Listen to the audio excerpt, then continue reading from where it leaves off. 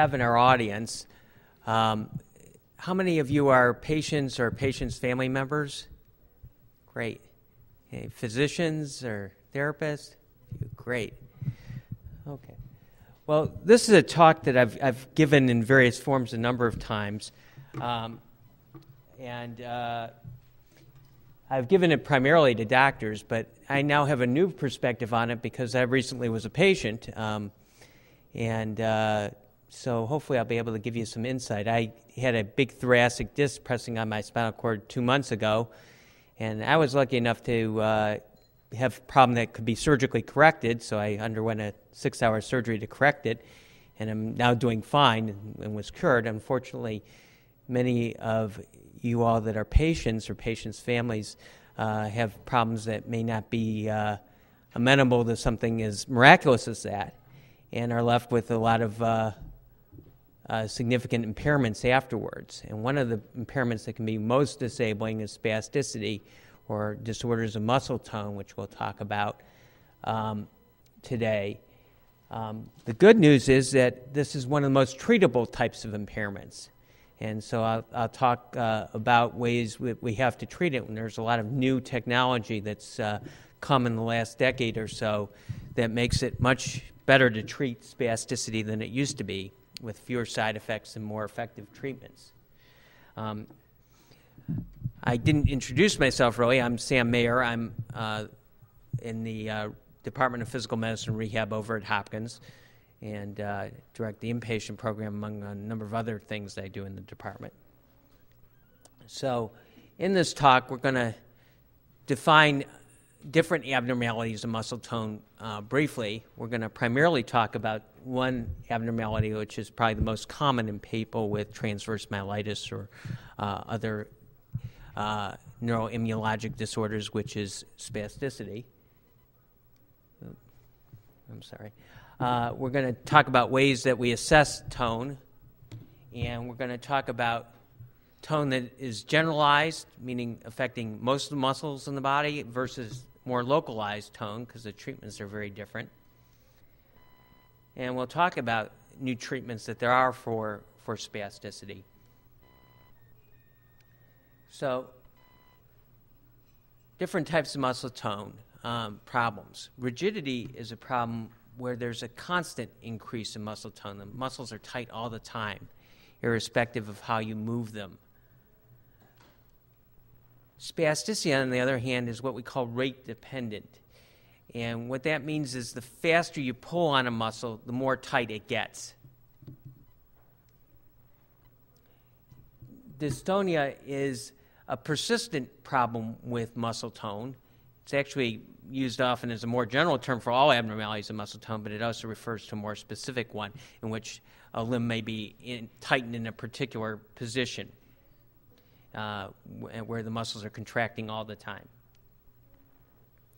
And myofascial pain is what people commonly call muscle spasms when they talk about backaches or things like that. And of course, people with uh, impairments from neuroimmunologic disorders can also get these types of uh, spasms as well. And we have to sort through what's just a regular run of the mill muscle spasm versus one from a neurologic problem. Part of the way we distinguish between these is we look at where in the nervous system the problem is. So, with rigidity, the problem is deep in the brain, in areas of the brain that we call the basal ganglia, which are deep areas of the brain. Um, spasticity, on the other hand, can happen in any of a few locations in the central nervous system. It can happen on the outer layers of the brain. It can happen in the brain stem, that portion of the brain that connects the brain to the spinal cord, and in the spinal cord itself dystonia can happen from disorders in the brainstem as well, um, or it can be um, a local muscle problem, and it's not very well understood. And even less understood is, is this whole problem of myofascial pain, even though it's an incredibly pr- common problem, we don't really understand it. In some cases, it has been linked to central nervous system disorders. Uh, for example, a disorder called Arnold Chiari malformation, which is uh, when the brain kind of uh, herniates down into the spinal column. Um, but it probably, in most cases, is more of a localized muscle problem.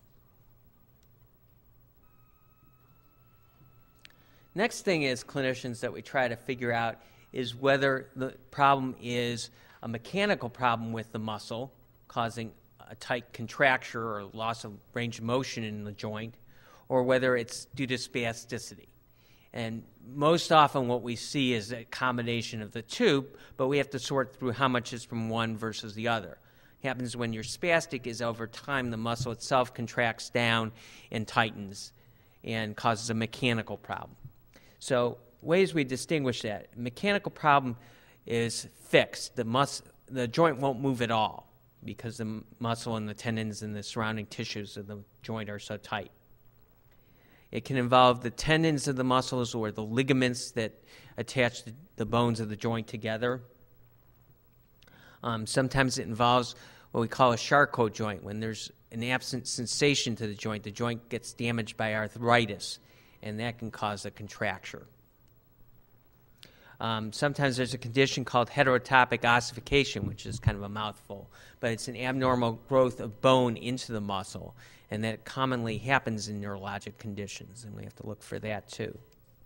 On the other hand, spastic contractures are dynamic, meaning that they change depending on position or how much tone there is in the muscle at the given time. You can slowly stretch it out because we discussed earlier, spasticity is rate dependent. So if we stretch a muscle more slowly, it'll stretch out. Um, we can palpate the muscles, we can feel the muscles opposite the contracture and see if they're contracting as well. And that gives us an idea that it's a spastic problem, which is a problem when muscle groups fight each other essentially. And we can look at uh, reflexes, you know, with a hammer, and, and look what happens with the, the hammer. And people with spasticity have increased reflexes in general. And as I said, most often both of these conditions are present. So most of the patients I see have both these problems, and we kind of have to simultaneously treat both. So, how do we assess muscle tone? Well, like anything in medicine, what we want to do is get a good history and a good examination, is where we start. And that's the core of what we do. There's fancier ways of assessing it, but frankly, they're not as good as, as just asking the right questions and examining the, the person the right way. It tells us more than anything. There are some new measurement tools uh, which are primarily used for research, frankly, um, and used somewhat in the clinical setting, but not necessarily. Um, so, key questions that we as physicians want to ask is first of all, where is the problem? So, is it a problem that involves uh, just the hands, for example, or is it a problem, you know, more generalized? Uh, we want to know what time of day it's worse, what are the aggravating factors, things that make it worse, things that make it better. Uh, encouraging our patients to keep a diary about that is, is very helpful too, so we can try to figure out what makes it better and what makes it worse and get some ideas of how to lessen the problem. Are there painful spasms with it? Uh, many, if not most, people with spasticity have quite a bit of pain associated with it. Some people don't have pain, depending on what's causing the spasticity. But uh, if it is painful, obviously that's something that we want to treat more aggressively. Whereas if it's not painful and not interfering with things, then we're not as likely to treat it. Which gets to the next question, which is probably the most important question, is how is it affecting your function? We want to sort through whether this problem is, is limiting you as a patient or whether it uh, is just an annoyance or something that happens to be a finding on examination but doesn't impact your life. Um, there's a tendency sometimes among doctors to just try to treat a patient based on some findings on physical exam, and we really need to talk to patients and assess them in terms of how it's Im- impacting them. Uh, we'll talk a little bit later about this some more, but spasticity can be a good thing in some patients. Um, particularly in patients who are still um, ambulatory um, and are weak in their legs, they often need the muscle tone in their legs to stand, to transfer, and to walk. And we don't want to take away that because it's good tone that's compensating for weak muscles. Um, so that's a very important thing we need to distinguish when we're treating patients with spasticity. So, physical exam, we, we of course want to do a neurologic exam on someone. Um, we want to also assess their range of motion, how their joints move. We want to feel if there are tender areas or areas that trigger spasms. Um, we want to check for something called clonus, which is a shaking, usually at, at the ankle, sometimes at the, um, the wrist, where if you push the joint back, it'll shake. Um, that can also happen spontaneously. Um, and there's something called an Ashworth scale, which is kind of a gross measurement that we use uh, for uh, spasticity. And this is the scale that we use. Um, those of you that are physicians in the room will, will instantly see that this is not a very scientific way of uh, describing things, but it uh, is more of a descriptive uh, terminology that we use that we can communicate with one another and that we can track symptoms over time and see how effective our treatments are.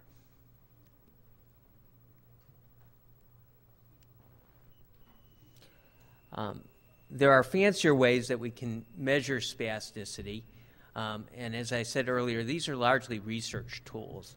So not necessarily something that you'll, you know, when you go and see your, your physician, they'll be doing on a routine basis, but they may do it if there's some clinical trial they're doing and so forth. Um, I'm not going to go into a lot of detail with this unless some physicians in the audience are interested later. Um, they can ask me questions about this. It gets rather technical, and I'm not sure that for this audience it's worthwhile getting into. But um, there's various ways that we can uh, kind of more quantitatively look at spasticity and, and give a number to it. Getting to treatment. Um, we used to have a way of treating spasticity that wasn't very effective before we had new tools. And a lot of uh, physicians are still of this old mindset. And what I'm going to propose is a little bit newer way, a new paradigm for treating things. So, the old way of treating things was kind of a stepwise approach. We looked at things and we said we'll go from the least invasive thing we could do, the least harmful thing we could do, to the most aggressive or most uh, invasive way of treating it. Um, so we would start off with using what's called modalities heat and cold, sometimes electrical stimulation. Then we'd use medications by mouth typically thinking that they have less side effects than doing other things, which isn't necessarily true, but we'll talk about that. Um, then doing injections. Um, and in the past, we had limited things that we could inject. Now we have much better things that we have available to inject. Then we go do surgery on patients and release their tendons. Uh, have the orthopedic surgeons do that. And finally, if that didn't work, we'd get the neurosurgeon involved and we'd have them cut their nerves.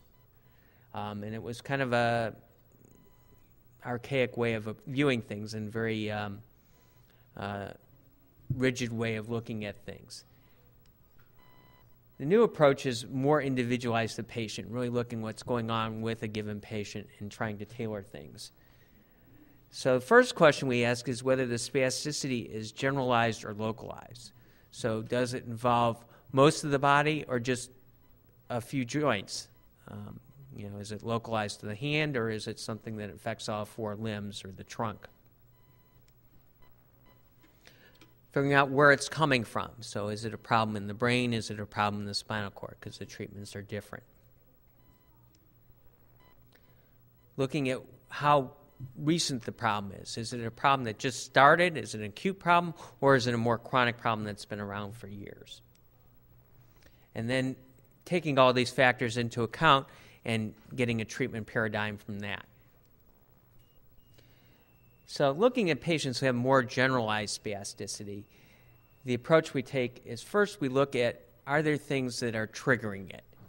So, are there what we call nociceptive factors like irritations, uh, things like a urinary tract infection or a, a pressure sore can uh, trigger spasticity? And we want to get rid of those things first because they're usually the easiest things, and if we don't get rid of them, they're going to continue to be a problem in terms of triggering spasticity.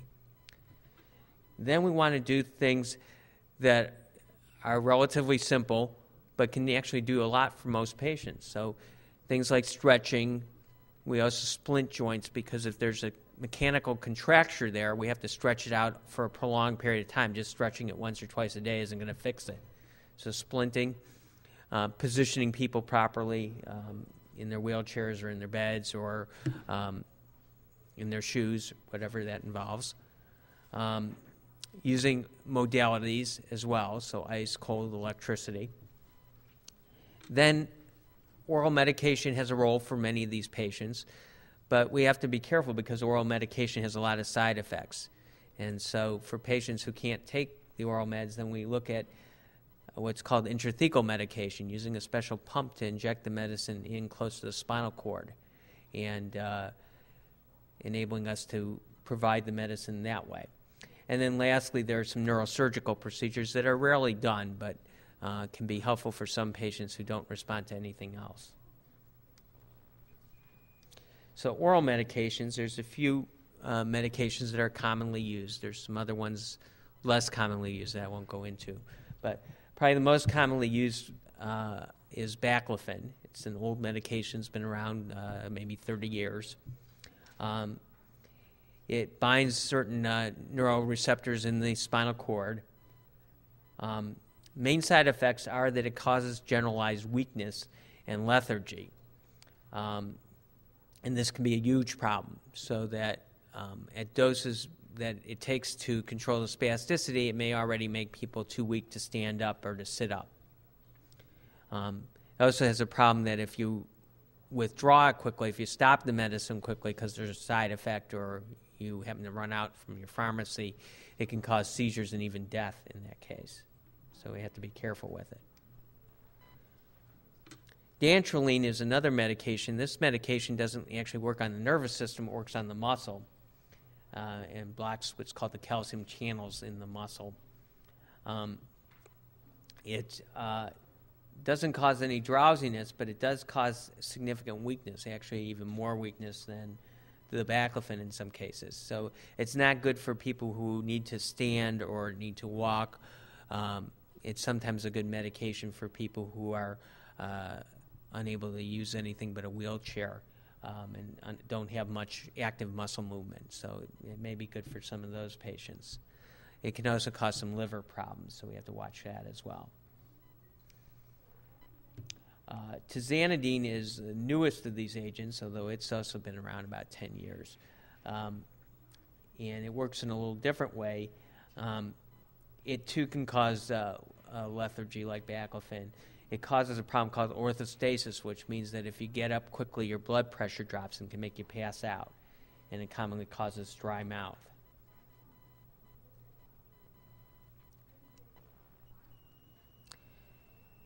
When we have trouble with using these medications, and we frequently do, um, one option for patients with generalized spasticity is an intrathecal baclofen pump, um, which is a, a, pretty new technology in the last decade or so, um, in which we inject uh, the medicine direct into the spinal cord. And the way we do this is there's a pump that sits in your abdomen, looks kind of like a pacemaker. It's about the size of a hockey puck and it has a catheter that goes up into the spinal column and then injects the medicine right in the space in the, between the uh, layers of the spinal cord. Um, it uh, is nice because it's infinitely adjustable, so we can give a higher dose during some times of the day and a lower dose during other times of the day. If, for example, you only have problems at night with spasms, but during the day you need that tone, we can give a higher dose at night. Um, it does, uh, it is affected by gravity because it's injecting into the spinal fluid, and when you are up and upright, tends to drift down towards the lower part of the spinal cord and affect the legs more than the arms. So people who have a lot of spasticity in their arms but not their legs, this is sometimes not the best treatment for. Um, the uh, pump has to be refilled. On this slide, I have every one to four months, but actually, the newer pumps, the brand new pumps, are twice as large, so you can double those numbers. Um, they have big, bigger gas tanks in them, so to speak. Although they're the same size, they have they fit more medicine. So uh, now it's every two to eight months, or in some cases even a year, that it has to be refilled. Um, and there's some risk of infection and, and mal- mechanical malfunction that uh, can be fairly significant, and we have to be careful about that. Uh, so it's not for everyone. For people with more localized spasticity, these are people who have spasticity in one limb, sometimes two limbs, but usually only a, one or two or three joints. Um, we take a little different approach because we don't want to give them the big guns that affect the whole body. We want to treat the problem where it's at.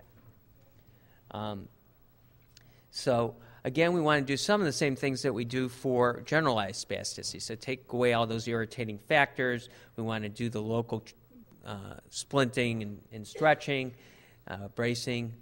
Um, we can also do some stretching with ultrasound treatments, physical therapy, um, where they heat the, the muscle tendon and it stretches better, is, is uh, one effective way of stretching it.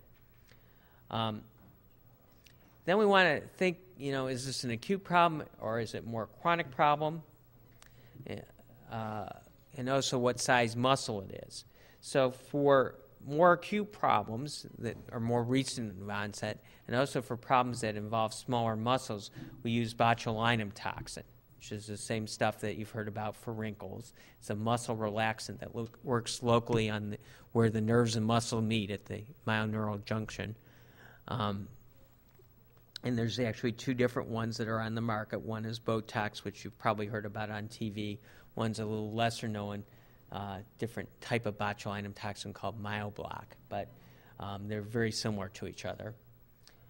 Um, and then if we have a more chronic problem that involves particularly bigger muscles in the legs, we use what's called phenol, which is actually a very simple chemical that's commonly used in industrial purposes and used all the time in medical research labs, um, but it, it uh, essentially uh, semi permanently destroys the muscle, nerve muscle endings there that um, allows the, the, treatment to last for much longer. Um, and so it, it's a semi permanent solution, so it can last a year or more.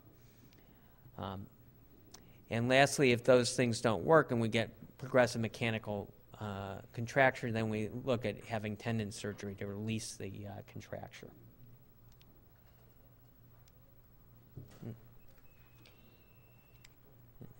Um, yeah.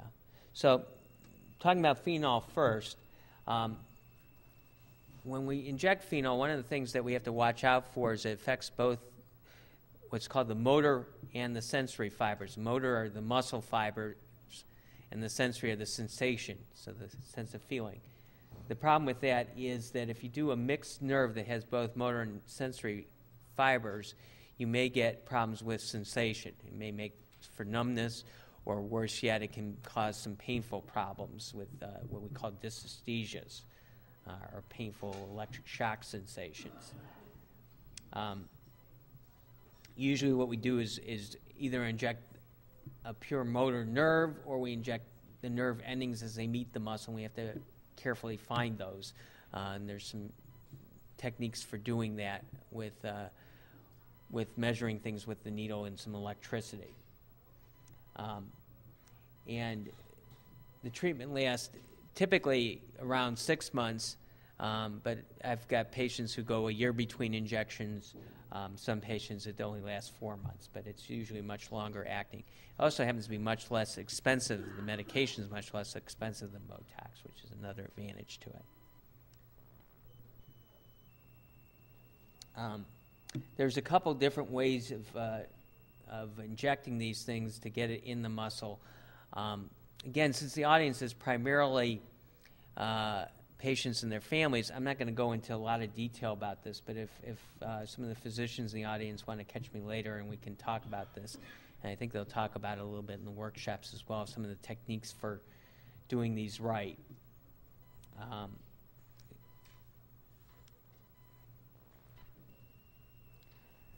the botulinum toxins have the advantage that they only affect the muscles essentially, so we don't have to worry about sensation afterwards.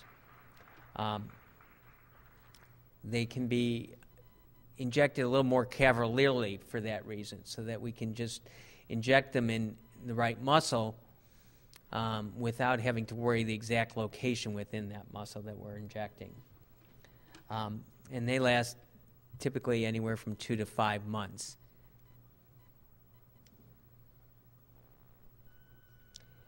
Um, we can use A or B, they're very similar. Um, a has been around a lot longer, um, so we have now, uh, what is it, 17 years of experience with it. It originally was approved, it's kind of an interesting story. It was approved for a very rare condition called blepharospasm, which is a, a twitching of the eyelid. Um, and was approved by the FDA as an orphan drug, uh, which is a much quicker approval process and costs the drug company a lot less money. And since that time, it has been used for everything uh, from, as you know, wrinkles to uh, problems with the esophagus, problems with anal fissures, to uh, spasticity and, and, a whole host of other problems, headaches, back pain. So the, the drug company did quite well with this product. Um, it typically lasts about three months, give or take. It comes in a little vial, it's frozen, in the doctor has to mix it up. Um, botulinum toxin B, which is Myobloc, um, has uh, also been around uh, a fair amount of time now, since 1999. Um, it did uh, recently switch uh, from one pharmaceutical company to another, and the drug was bought by another pharmaceutical company. And so there's a little less experience on the part of the drug company in terms of marketing this. And so fewer doctors have heard about it. Um, so it's used a lot less often. Uh, it's been used for torticollis, which is a twisting of the neck, and other dystonias is originally what it was used for. Um, it may last slightly longer. There's some evidence of that, but that's a little controversial as well. Um, and it comes pre-mixed. Um, so Botox has approval for using in dystonias, and it's been used in a whole host of other things. Has approval for using in, in wrinkles as well. It is not FDA approved, though, for spasticity, interestingly enough, even though that's one of the most common uses, and there's tons of uh, evidence that it works uh, in the scientific literature. Um, about 3% of the people will get antibodies to it with prolonged use, and that means that after you've been using it a while, you can't use it anymore because it doesn't do anything.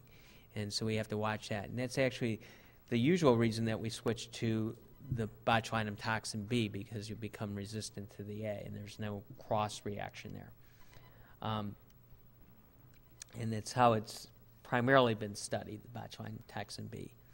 Um, one of the problems with botulinum toxin B is it does tend to cause some more dry mouth than botulinum toxin A as a side effect. Sometimes it's a good thing. If we have patients who have trouble with a lot of drooling, um, we can treat the drooling with this um, as, as, a useful side effect.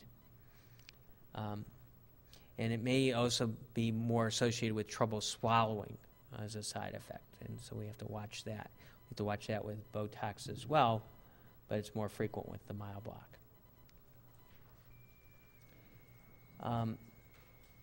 So I want to just briefly, uh, you know, actually we're running a little over time. I'm going to skip these cases, but we can maybe discuss them later. Um, but are there any questions?